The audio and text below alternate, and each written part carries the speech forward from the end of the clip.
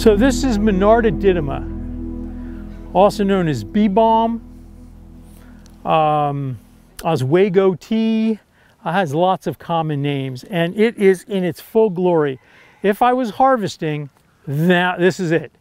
You look at the leaves, and these later in the summer will develop a, a white fungal disease you don't want to get them then. So the leaves are still beautiful, the flowers are beautiful, and one of my elders many years ago, I spent a summer with him and his father.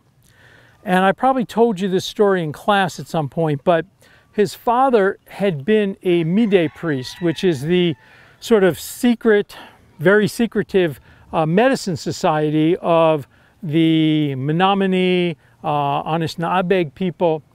And he, as a young man, he had been trained, started being trained as a Mide priest, so he's probably only first level. And then he converted to Christianity and eventually became a deacon in his church and, you know, lived his life. And then when I met him, he had just, was recovering from his seventh heart attack. And uh, sacred number, by the way. And he had a vision that he needed to return to his traditional ways.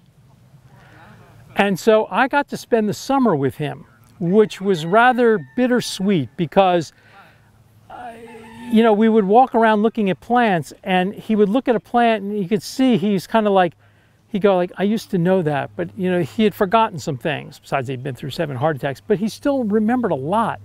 And so he told me, and he was Menominee Potawatomi, and I don't speak Menominee Potawatomi, but in English, I don't remember the, the name in Menominee, but he said in English it translated to sacred seven because it had seven different uses. The reality is the plant has way more than seven uses.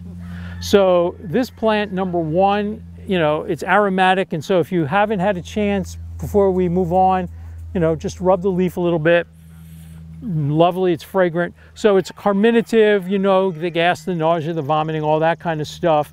Also useful for, you know, diarrhea, digestive upset. It has lots of essential oils, so because of that, it certainly has antibacterial activity for sure. Um, it also acts as a diaphoretic. So again, you have a fever, you drink a cup of this really hot, it makes you, your body temperature actually go up a little bit more, and then you sweat profusely, bringing the temperature down. Um, in addition to that, if you make a, uh, an infusion of this plant and cool it and use it for burns, it's pretty good. Uh, it's not as good as aloe with uh, uh lavender essential oil, but it, it works pretty nicely. The plant is also a mild nervine used for things like stress headaches. It can be used as a gargle for sore throats. Um, it acts as a urinary tract antiseptic and anti-inflammatory. So for urinary simple cystitis, it can be quite nice. Um, so it's just a great medicine. And one of the things that my uncle used to always do is he would, you know, in his tradition, red is the sacred color color of success. So he would harvest these flowers and then in every formula he'd give somebody, he'd put seven of these flowers, the dried flowers in there, because red's the color of success and seven is being the sacred number, it would make it potentize the formula to make it work better.